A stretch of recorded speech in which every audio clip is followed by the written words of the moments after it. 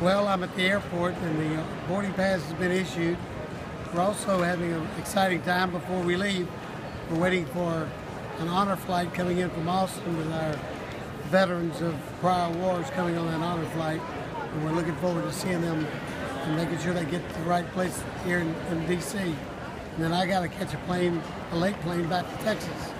This week we did something great for our state, a ban on the American, we lifted the ban on the American crude oil export, which will, which is a, will actually make production increase in Texas.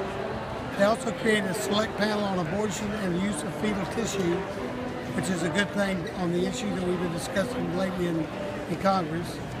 We are, uh, the NDAA, the National Defense Authorization Act, has now passed both the House and Senate and will be placed on the President's desk and hopefully he will not veto it. The most important thing today, though, is the honor flights coming in right here at Gate 5 at, at National Airport, Reagan Airport. And we're going to greet these, these heroes that are coming in here from our part of the state. So we'll have good shots of them for all, for all of you to see.